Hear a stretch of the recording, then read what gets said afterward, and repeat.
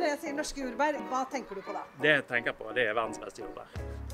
Jordbær, det er sommer og sol og fest og 17. mai og julaften på en gang. Altså, Norske jordbær er jo ikke til å Altså, det er jo ikke noe konkurranse der. De er jo så saftige og gode. Jeg skal ikke skryte på meg at jeg spanderer på meg selv så mye norske jordbær, eh, eller at det er det jeg velger i butikken, men det, det er de som er best når, når man har noe å velge.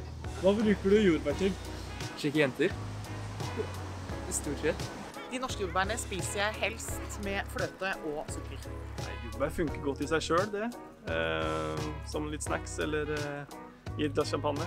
Elsker jordbær, så jeg gleder meg ganske mye til jordbær og vaniljesaus. og Det skal bli kos.